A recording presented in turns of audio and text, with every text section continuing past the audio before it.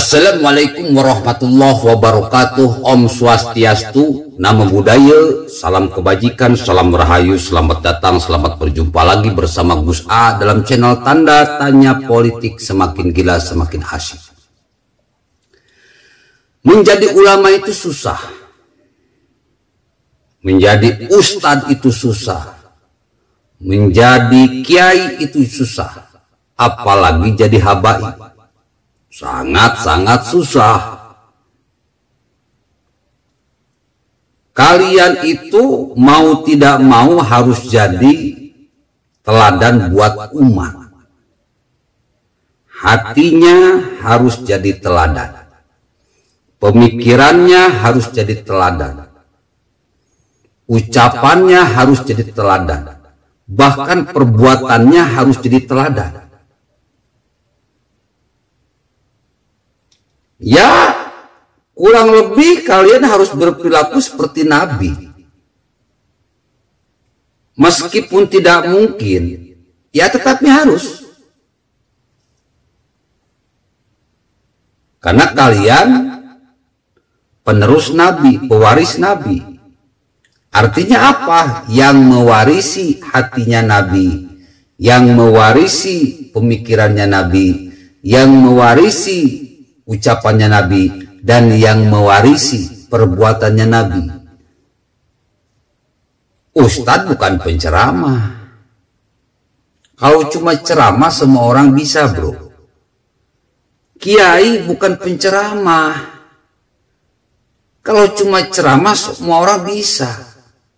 Habaib bukan penceramah. Kalau cuma ceramah semua orang bisa.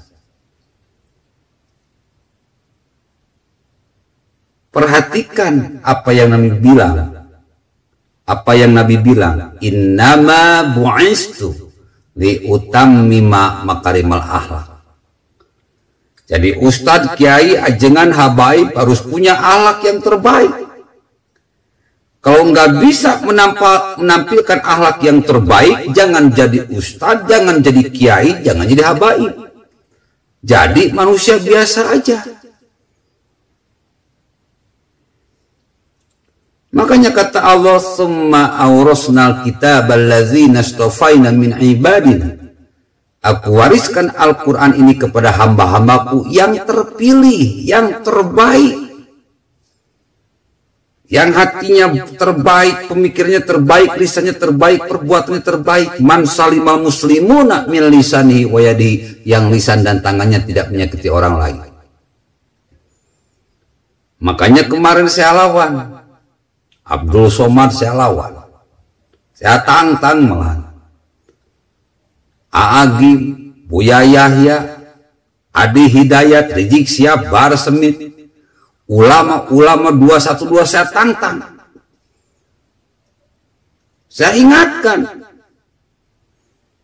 jangan sampai kalian menganggap diri kalian ustadz, kiai, habai, tapi kelakuan kalian kayak setan, ucapan kalian kayak setan. Teriak-teriak ahli sunnah wal jamaah, tetapi nyata, nyatanya ahli setan wal jamaah.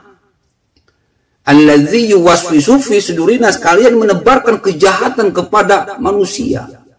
Mengharam-haramkan, memunafikan dan sebagainya dan sebagainya. Semuanya terekam sejak pilkada sampai sekarang. Sekarang zaman digital rekam jejak kalian itu sudah terekam, udah nggak bisa dihapus. Mau Menkominfo menghapus tetap rekamannya ada di banyak orang.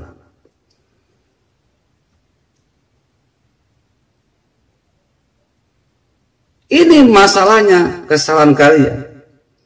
Masuk politik, bikin kegaduhan di sana sini, bikin kekacauan di sana sini sampai mendukung masalah khilafah?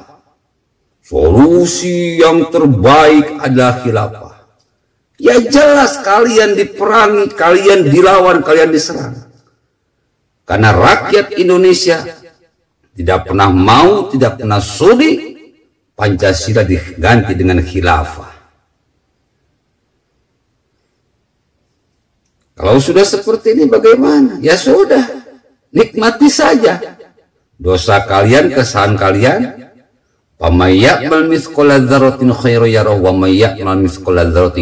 wa. Orang yang baik akan dimuliakan, orang yang jahat akan dihinakan. Ulama yang baik akan dimuliakan, ulama jahat akan dihinakan. Sudah nikmati saja. Kalau pengen gampang minta maaf pada seluruh rakyat Indonesia, baru kalian bisa beraktivitas seperti biasa tanpa ada serangan dari mana pun. Saya dari dulu geleng-geleng kepala.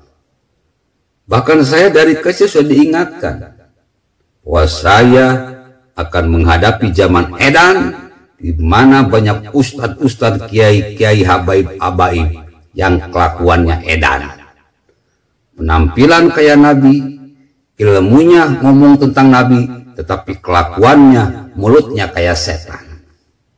Assalamualaikum warahmatullahi wabarakatuh.